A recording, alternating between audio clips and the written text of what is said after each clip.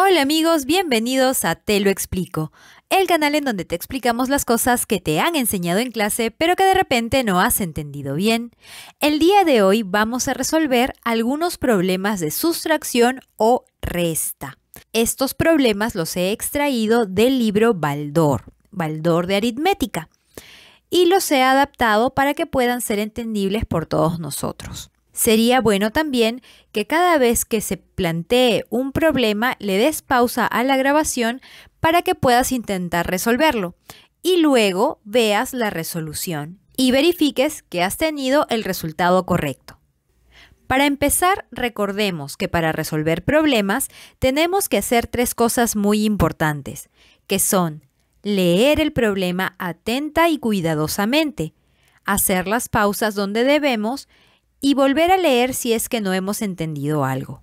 Analizar el problema organizando nuestros datos y razonando para saber cuál es la mejor manera de resolverlo. Y finalmente realizar la operación, resolverla y poner la respuesta. Empecemos con el primer problema. Problema 1. Si el minuendo es 342 y la diferencia es 156, ¿cuál es el sustraendo? En este problema es esencial saber cuáles son y dónde están ubicados los elementos de la sustracción. Pongamos nuestros datos. Tenemos que el minuendo es 342 y la diferencia 156. ¿Cuál es el sustraendo? Recordemos que los elementos de la sustracción son minuendo, sustraendo y diferencia. En este orden, el más grande va a ser el minuendo y siempre va a ir primero. El sustraendo es una cifra más pequeña que el minuendo y es lo que se le quita. Y va a ir después de él.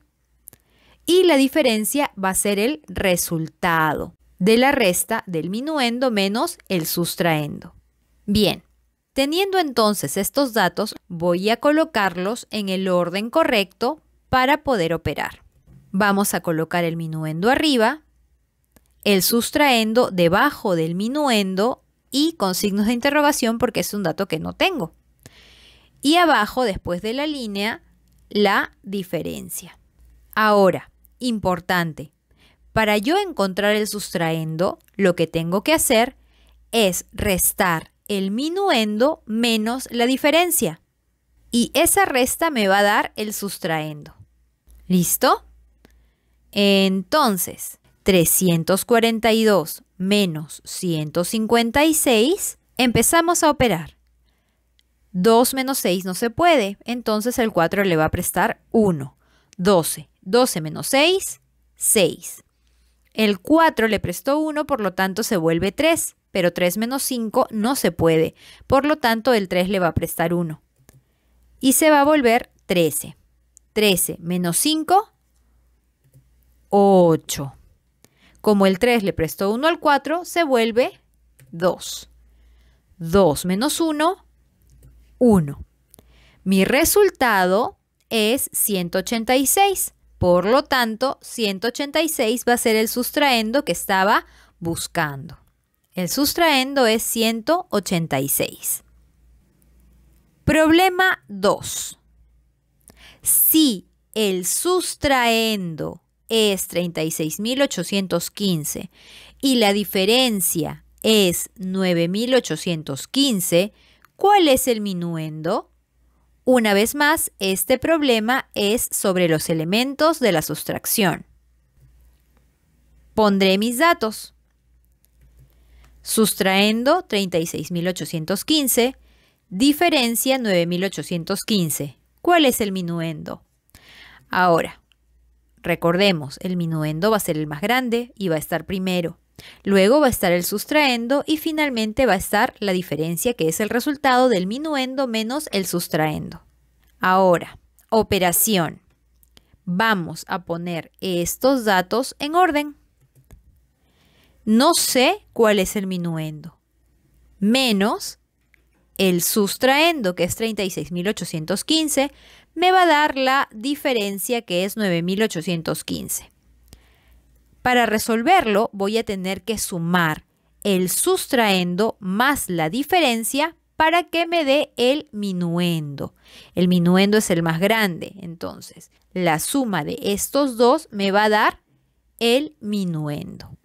Voy a sumar 5 más 5, 10. Llevo 1. 1 más 1, 2. Y 1 que llevaba, 3. 8 más 8, 16. Llevo 1. 6 más 9, 15 más 1, 16. Llevo 1. 1 más 3, 4. Este resultado será el minuendo de mi resta.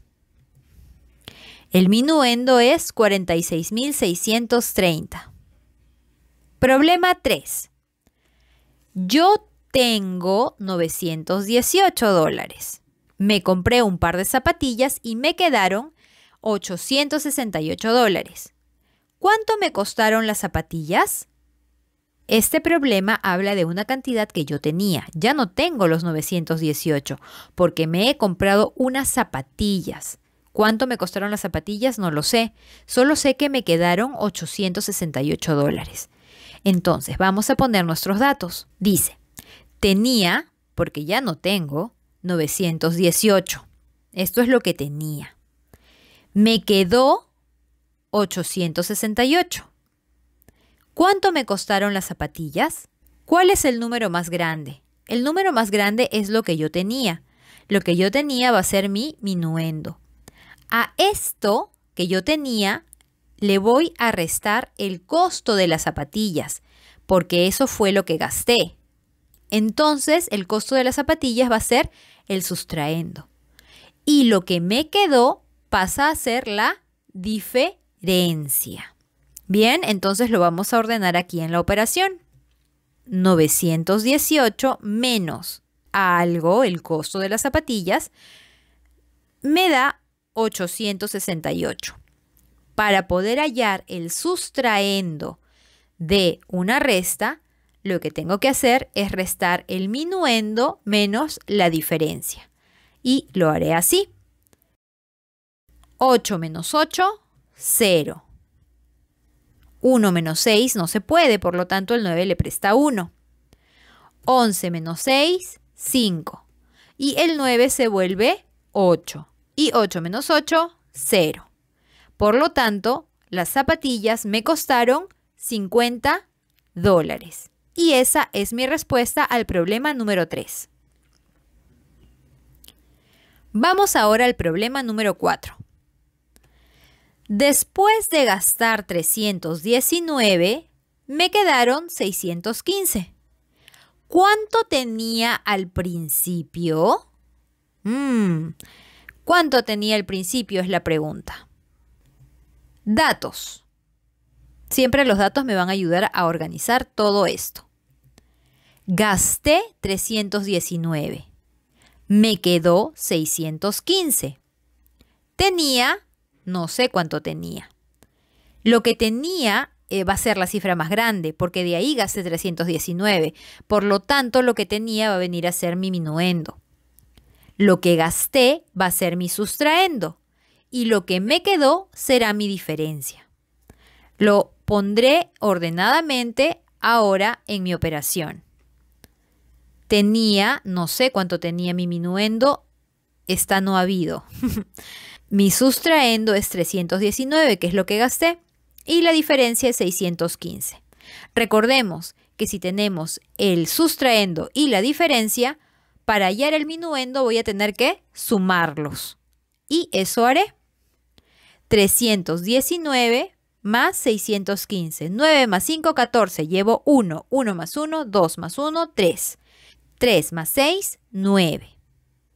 934 es mi resultado y será lo que tenía.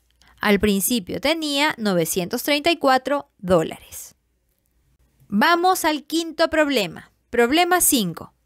Si recibiera 145 dólares, podría comprarme un auto que vale 560 dólares. ¿Cuánto tengo? Lo que sé es que no sé cuánto tengo. Y esto que no sé cuánto tengo más 145 me va a dar 560. Pongamos todo esto en los datos. Si recibiera 145, el valor del auto 560 y tengo no sé.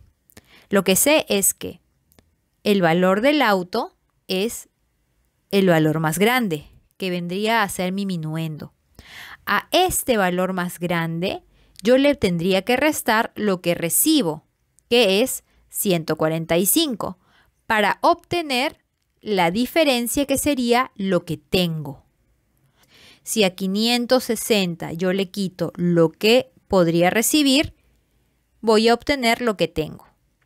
Minuendo menos sustraendo es igual a diferencia. Restemos.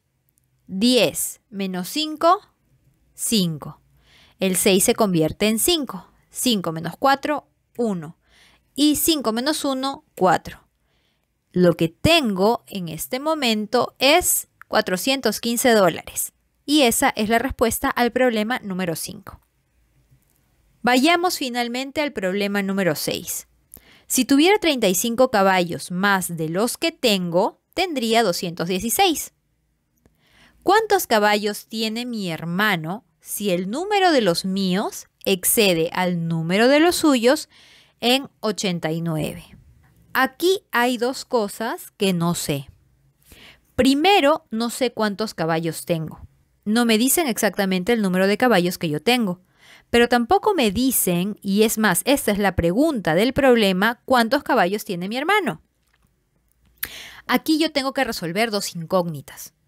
Y para esto voy a dividir el problema en dos y voy a separar mis datos y mi operación también en dos. Lo primero que voy a hacer es resolver esta parte de acá. ¿Cuántos caballos tengo?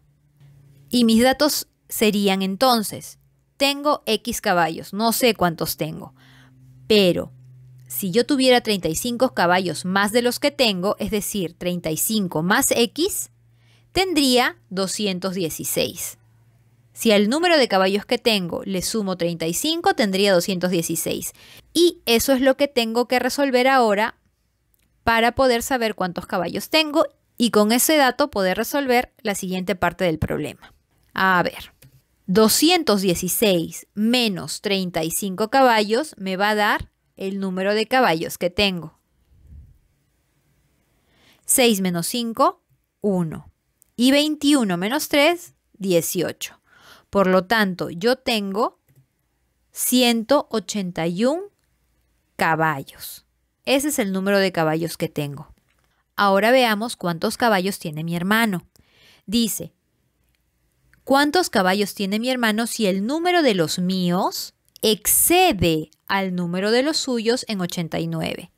Yo tengo 89 caballos más que él. Mi hermano tiene I caballos. X e Y son letras que representan a una cantidad que no conocemos. Si dice que mis caballos exceden en 89 al número de los suyos, si yo le quito el número de mis caballos 89, me va a dar el número de los suyos. Por lo tanto, vamos a hacer la operación número 2.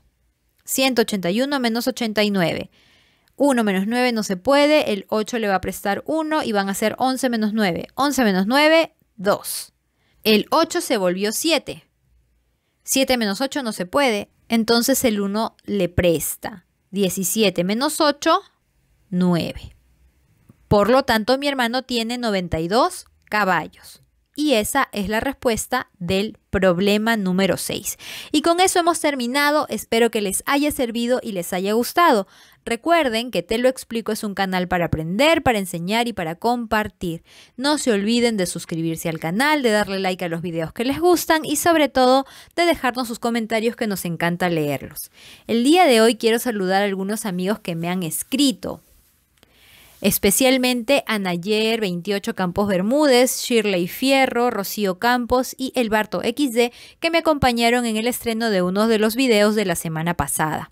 También quiero saludar a Isabela Ana García Vargas, que dice, está bien, yo aprendí mucho, me alegra mucho Isabela y espero que sigas viniendo, te lo explico por más videos. También quiero saludar a Cassandra Cepeda, que dice muy buen video, sí me ayudó, me alegra mucho Cassandra, estoy muy feliz de que podamos ayudarte con lo que necesites. Quiero saludar a Osvaldo Gaitán que dice gracias excelente, de nada Osvaldo, espero que sigas viniendo a Te lo explico por más videos. Y finalmente a Agustín Hernández que dice que utilizó el video para su curso de ingreso a la universidad. Espero que logres ingresar a la universidad y que te vaya súper bien Agustín. Y bueno chicos, decidan tener un lindo día y nos vemos prontito. ¡Chao!